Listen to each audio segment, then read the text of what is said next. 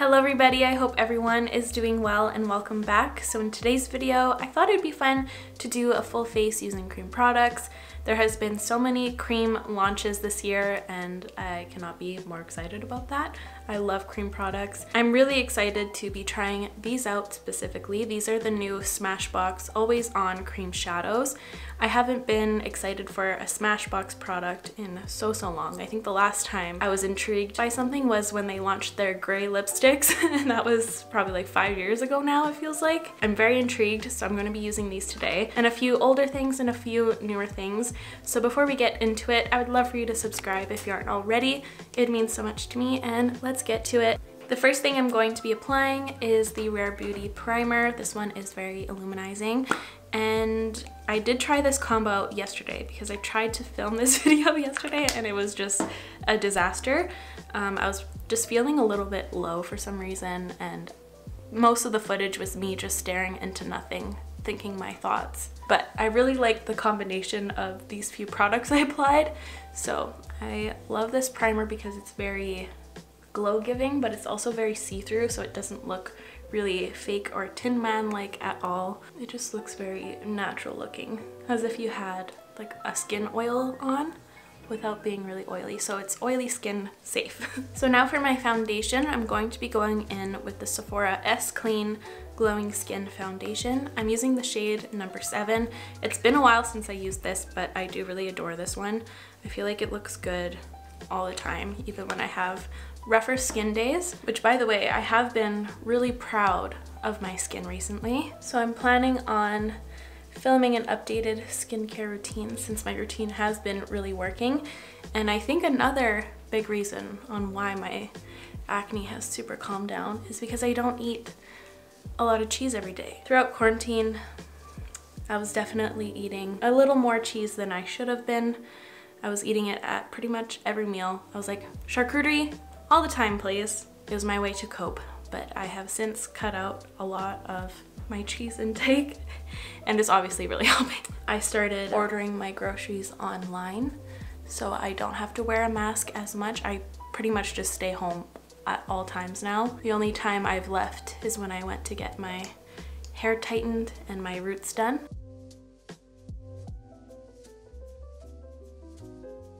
I just really like the combo of those two products together. I feel like they make such a nice finish. I'm just gonna add a little bit more over here.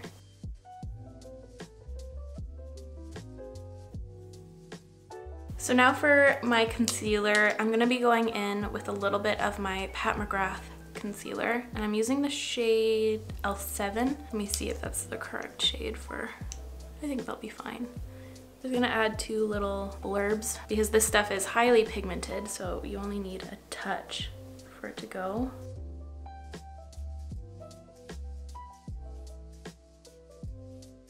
With my super off day yesterday, I had I struggle so hard with those days where I want them to be productive days and then they turn out to just be kind of a fail. I always struggle with relaxing. I always feel like I should be doing something or you know? Like I never can calm my boobs. What? I can never calm my boobas. so yesterday I really tried. So I binged a little bit of Peaky Blinders and I am so in love with Thomas Shelby. I cannot. He's so problematic and such a brat, but I, I would marry him tomorrow. Anyways, I'm just gonna set a little bit of my under eyes just right under here, just because all concealers always settle into those lines. It's just because of my eye shape. Um, so I am cheating a little bit. So please forgive me, but I'm just putting it right here and I won't be touching any powder again. So now for my bronzer, I'm going to be going in with the Tarte Breezy Cream Bronzer and I'm using the lighter shade and I'm going to be applying it with, of course, my sadly discontinued Airbrush Precision Foundation brush and I'm going to go in and tap it on first. I've been using my Huda Beauty Tantour a lot recently again, so it's fun to switch it up. I do really love this one too though. It's very nice and blendable. I think I do prefer the Huda Beauty one just because it is so much more blendable and I do enjoy the tone a little bit more. But this one is really nice as well. It has more of a glow running through it. I just got zoned out there for a moment. I was definitely thinking about Thomas again. Who have you been crushing on recently? I'd love to know. Back on the Peaky Blinders, I have no idea what's going on in the show. It's definitely a show I'm gonna have to restart right after I finish it because sometimes when he's on, I just hear like Charlie Brown's parents talking, you know, like I just look at him and I fall in love. But anyways, For my highlighter, I don't know which one I want to use. I pulled these two out that I haven't used in a very long time. The Marc Jacobs deodorant, aka their Spotlight Glow Stick, or the Terracotta Skin Illuminizer from Guerlain. I'm just gonna quickly swatch them on my hand to see which vibe I'd prefer. I feel like this one is a little bit too deep for me at the moment, and that one is a little too icy for me at the moment. Should I mix them just for fun?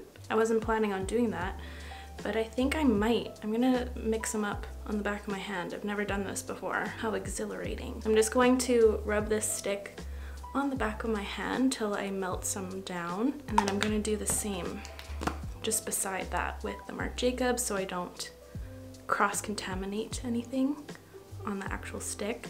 And then I'm gonna take my favorite brush here, the Moda Pro Glow, and I'm just going to mix and mix and mix and mix and have fun. Okay, I think that's a color that I really like. Okay, so I'm gonna just paint it on first. Ooh, okay, I actually really like that. And then I'm going to buff it in a little bit better. That is the beauty of cream products, that it's so fun to customize and mix them up together to create your own shade. You definitely don't need to go out and buy these two products to make this. I feel like there's a lot of other cream products that can get this kind of color, but if you have a few cream formulas in your collection, mix them up. It's really fun. So now for my blush. Actually, I don't know if I'm going to be applying blush right now, just because I don't know which color I'm going to be using on my eyes. So I think I'm just going to quickly do my brows. I'm actually going to be doing my brows on camera today because I pulled out my beloved Flower Beauty Bubble Brow.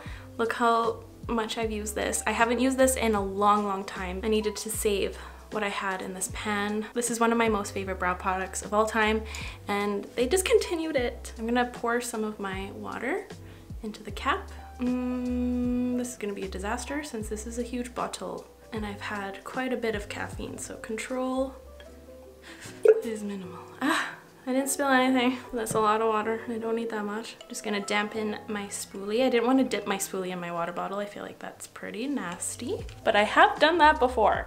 I really loved how my brows looked in my Gucci Beauty video. But sadly, it did not last. Like, I wonder if it was just the way I used that Jason Wu product. I'm gonna have to play around with that one a little bit more, but I wanted to use my Flower Beauty since it's nice and tinted as well. So this could be a disaster, I don't know. I have to get back at practicing doing this. I also am very interested in the ABH Brow Freeze. It's the first product that ABH has launched in a very long time that I've been intrigued by. I'm first trying to coat all of my hairs to get them to a very controllable point. This definitely has a better hold because even when I express my brows. None of them pop up. My Botox isn't updated. I haven't gotten my Botox done in like four plus years.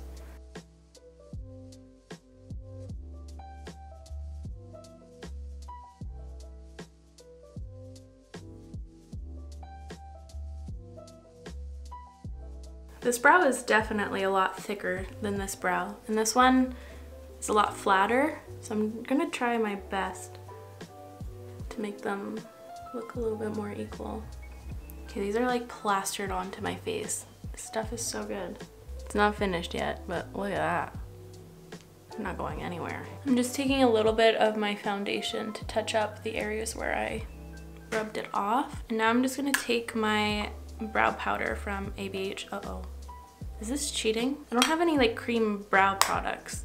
I forgot what I was doing. Blame it on Tommy, okay guys? Um, I'm just going to take my brow powder to define my brows a little bit with these sparser areas.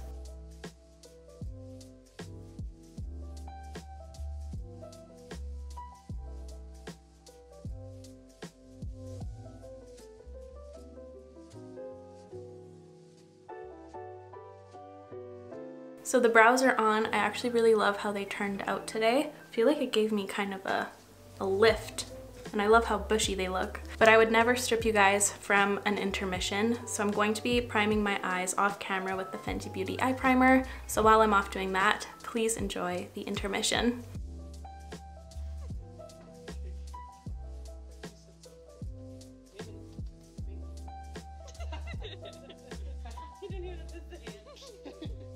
Okay, so now it's time for the most exciting part, well for me. I'm to be using one of these things, the Smashbox Always On Cream Shadows. They reached out and they asked me to pick out three shades that I see myself using the most. So I picked uh, Olive, Greige, and Sienna. I'll quickly swatch them on the back of my hand so we can get a feel for the color. So here they are swatched very loosely on my hand here. So of course this is Sienna, Greige, and Olive. This gives me Melt Cosmetics Gemini palette vibes. Oh, but this one's really pretty too. This one's really nice for every day, but I'm, I'm leaning more towards one of these guys. I'm wearing green right now. I'm drinking a new matcha. Should I do the green? This is kind of complementary to green too. I'm gonna go for olive today. It's really hard to choose though. So I'm gonna squirt some on the back of my hand. Oh, I'm gonna zoom you guys in. Whee! I'm gonna take this flat yet fluffy brush. This is the Moda SM Eye Shader Brush. And I'm gonna grab on some product. It feels really nice and creamy. So I'm going to first lay it onto my lid first. And then I'm gonna take a fluffier brush to kind of blend it out. This looks like pea soup. I don't know. I'm gonna add another layer to build that up because it's a little sheer, looked a little jaundicey. Very easy to blend so far. You get a lot of work time too, it seems like. It's blending out pretty seamlessly. These are very easy to work with actually. I think for the other eye, I'm actually gonna try Sienna because I'm not really a fan of this color, just for like a one and done shade. If I was using this as like an eyeshadow base or something, I think this would I would like this a lot more. But for one and done color, I don't know. I've decided I'm just going to trust the process, see what this looks like with mascara because I feel like that will make the world of difference. And when I have blush on, and maybe I'll change my top because I feel like these two greens are contradicting themselves. They're not complementing each other at all. They're in a fight. So I'm just gonna quickly do this eye.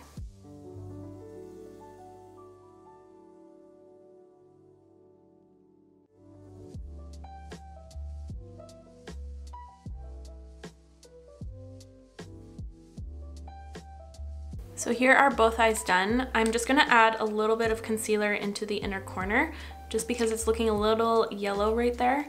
So I'm just gonna add it with this little fluffy brush. This is a ColourPop E27.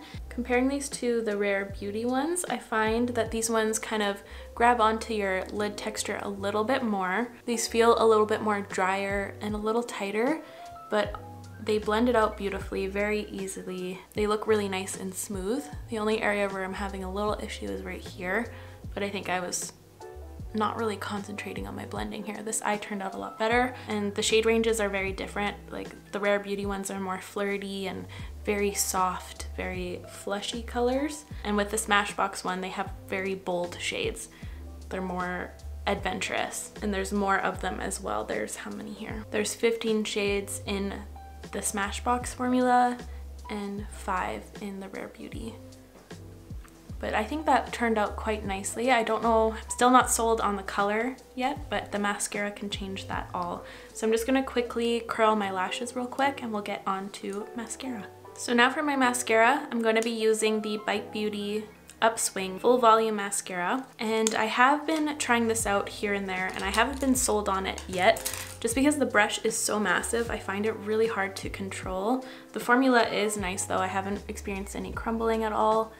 I just always hit the brush on my lid where I always get transfer. It's really, really hard to control. I wish the brush was smaller. And also like I feel like I don't have small eyes. So if I did have smaller eyes, I think it would even be more of a struggle.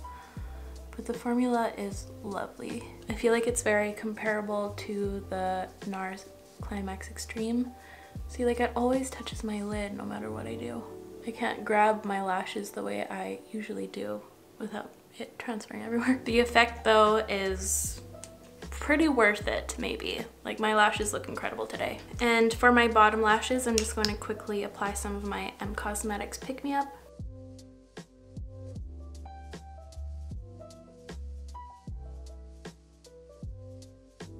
So here are the eyes all finished. What do you guys think?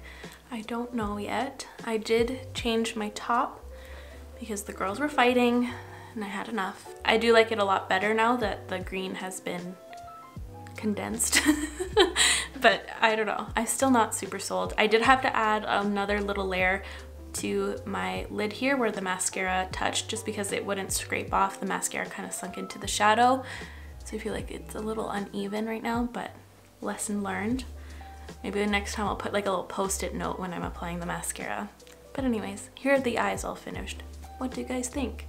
I think the lashes look amazing though. Definitely trust the process. so now for my blush, I'm going to be using one of the Rare Beauty Stay Vulnerable blushes. I feel like this peachy one would be kind of fun with the eye. This is the Nearly Apricot. That or Nearly Neutral, which I feel like looks a little too gray next to this green. I think the peachy one it is. This I used Nearly Neutral in my other video. Those are the two colors I have been using the most, Nearly Neutral and Nearly Apricot. So I'm quickly going to apply it with my Smith 115 brush. And I still haven't figured out if, what formula I like from Rare the most. I feel like they all are quite different from each other. But I feel like maybe I'd wear these ones the most since they're a little bit more sheer. And sometimes I get nervous with the amount of pigment that the liquid versions have. I feel like these are a lot more user-friendly and approachable, but at the same time, the other ones have such fun colors too.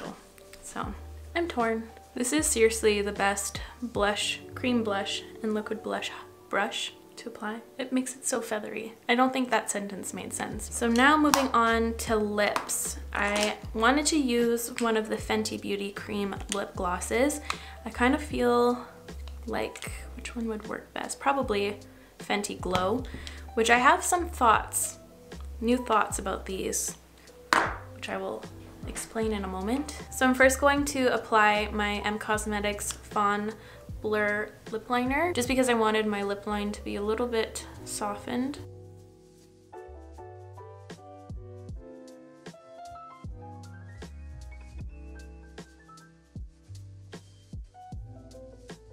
I'm going to be using the shade Fenty Glow in the cream formula, so that's the one with no shimmer. So I have been using these quite a bit recently and I have noticed a few things. I find that this formula settles into the cracks of your lips very easily and they almost bunch up, I would say, around your lip line. Like all of the color really settles and I find that it looks a little patchy at times, especially the more you wear it. When you first apply it, it looks stunning, but once you start talking and moving your lips, it starts to migrate to the edges, which I do find it can be avoidable by like really scraping the excess off of the tube here. But I find that you lose a lot of the pigmentation and the effect as well. Like you just have to add a tiny, tiny, tiny a bit so it just looks like a satin on the lips. You can't build it up till it looks very glossy. I just wish that this formula was a little bit better refined, I think, especially for being more of a pigmented gloss. But it is totally avoidable if you just apply a tiny, tiny bit.